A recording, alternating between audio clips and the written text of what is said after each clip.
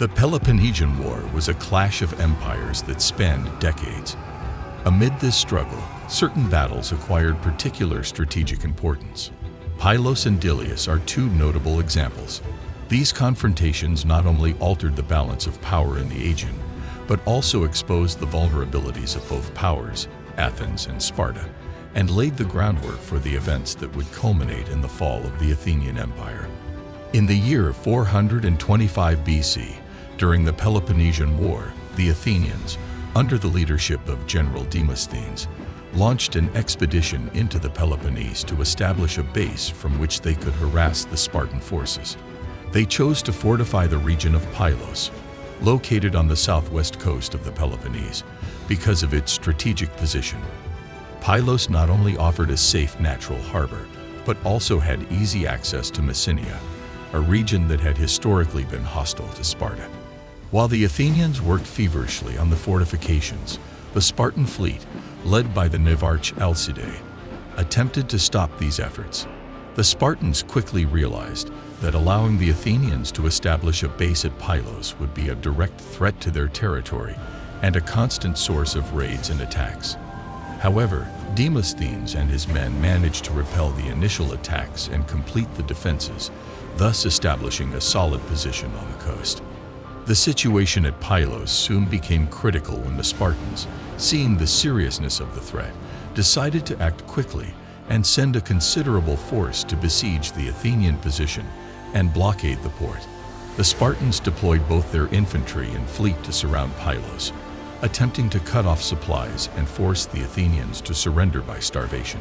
However, the Athenians, taking advantage of their naval superiority, were able to keep supply lines open and receive reinforcements and supplies across the sea. In a reversal of roles, the Athenian fleet, commanded by Cleon, arrived to reinforce Demosthenes at Pylos. The arrival of this additional fleet not only boosted the morale of the defenders, but also complicated the situation for the Spartans, who now faced a battle on two fronts, on land and at sea. The conflict reached a decisive point on the island of Sphacteria, located off the coast of Pylos. A contingent of Spartan soldiers, consisting of approximately 420 men, was trapped on the island, surrounded by Athenian forces the Spartans found themselves in a desperate situation. For 72 days, the Spartans held out in extreme conditions, facing food shortages, lack of water, and constant minor attacks by the Athenians. The situation in Sphacteria became a mess. The Athenians could not drive the Spartans from the island, and the Spartans could neither escape nor receive reinforcements. In this context, the Athenian leaders, Cleon and Demosthenes, decided to launch a decisive assault against the island, hoping to break the Spartan resistance once and for all. The final assault by the Athenians was vicious. Demosthenes led the Athenian hoplites in a series of coordinated attacks. The Athenians used their numerical superiority and knowledge of the terrain to corner the Spartans, cutting off any chance of retreat. The Spartans, despite their legendary bravery, began to perish under the pressure of the Athenians. Finally, against all odds and in defiance of the expectations of both sides, the Spartans surrendered. This surrender was a severe blow to Spartan prestige, as it was considered that a true Spartan never surrendered. The capture of the Spartans at Sphacteria, many of them belonging to the Spartan nobility, was a symbolic and strategic victory for Athens. It provided Athens with a valuable bargaining chip and proved that even Greece's most feared warriors could become defeated and captured. For Sparta, the defeat at Sphacteria was a humiliation. The loss of so many valuable soldiers and the surrender of a Spartan force were devastating blows to their military reputation. The Spartan surrender at Sphacteria was especially significant because it challenged the image of invincibility and the Spartan code of honor which glorified fighting to the death. This defeat forced Sparta to reconsider its tactics and seek new ways to counter the Athenian threat. The Battle of Delius. In 424 BC, the Athenians, under the command of the strategist Hippocrates, undertook an ambitious campaign in the region of Boeotia, This operation aimed to expand Athenian influence in the region by fortifying the city of Delio and using it as a base of operations to launch future raids. Boeotia was a region of strategic importance, controlled by a confederation of cities allied with Sparta, led by Thebes. The Athenians moved quickly toward Delio, located near the northeastern coast of Boeotia. The plan was to build sturdy fortifications that would ensure control over the city and provide a secure base from which they could launch operations against the Boeotian forces and their Spartan allies. Hippocrates led his troops by personally supervising the construction of the defenses. However, the Athenian move did not go unnoticed. The Boeotian forces, alerted by the activity at Delium, began to mobilize. The Boeotian Confederation, known for its military discipline and ability to act quickly, assembled an army under the command of Pagondas, an experienced and astute Theban general. Pagondas saw the seriousness of the Athenian threat and decided to engage them before they could consolidate their position. The Boeotian forces quickly marched toward Delius, determined to intercept and defeat the Athenians. Pagondas planned a strategy that capitalized on the advantages of the terrain and the disposition of his troops. Meanwhile, the Athenians, confident of their numerical superiority and the quality of their hoplites, prepared to engage the Boeotians in a pitched battle. The battle was fought near Delius, on the ground that favored the defenders. The Athenians formed their ranks in a classic hoplite formation, with their surrounding shields and spears ready to repel any attack. Hippocrates, leading from the front, was confident that his men could withstand the enemy onslaught and hold their position. Pagondas, for his part, adopted an innovative tactic. He divided his army into two wings and hid a significant part of his cavalry in a nearby forest.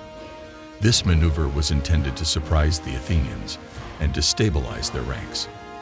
During the engagement, he ordered his cavalry to make a surprise attack on the Athenian left flank, causing confusion and panic among the enemy ranks. At the same time, he launched a frontal charge with his heavy infantry. The battle began with a series of direct engagements between the Athenian hoplites and the Boeotians, the well-trained and disciplined Athenians initially managed to hold their line and repel the frontal attacks. However, Pagondas' tactical surprise soon began to take effect. The Boeotian cavalry, suddenly emerging from the forest, charged the Athenian left flank with great momentum. The attack of the Boeotian cavalry was destructive. The Athenians, taken by surprise, found themselves at a disadvantage and began to crumble. Confusion and panic quickly spread through the Athenian ranks. The hoplites, accustomed to fighting in close formations, were unprepared to face a cavalry charge from an unprotected flank. Seeing his left flank collapse, Hippocrates attempted to reorganize his forces and counter the attack, but the situation quickly deteriorated. The Boeotians, taking advantage of the chaos, launched a renewed frontal attack with their infantry, putting even more pressure on the Athenians. During the confusion, Hippocrates was mortally wounded and fell on the battlefield, further aggravating the disorganization and demoralization of the Athenian troops. The defeat of the Athenians at Delius was complete. Their lines were broken, and the panic-stricken soldiers began to flee in disarray. The Boeotians, under the command of Pagondas, pursued the retreating Athenians, inflicting heavy casualties and securing a decisive victory. The Athenians suffered significant losses, and the Battle of Delius became one of the worst defeats for Athens during the first phase of the Peloponnesian War. The Battle of Delius had important military and political consequences. For Athens, the defeat in Boeotia was a severe blow. It underscored the limitations of its land strategy and highlighted the need to reevaluate its tactics and approach to warfare. The death of Hippocrates, a respected commander, was also a significant loss for the Athenians, who had to face not only the military setback, but also the need to find new leaders capable of guiding their troops in future campaigns. Politically, the defeat weakened Athens' position in the region and weakened its ability to project power in Boeotia.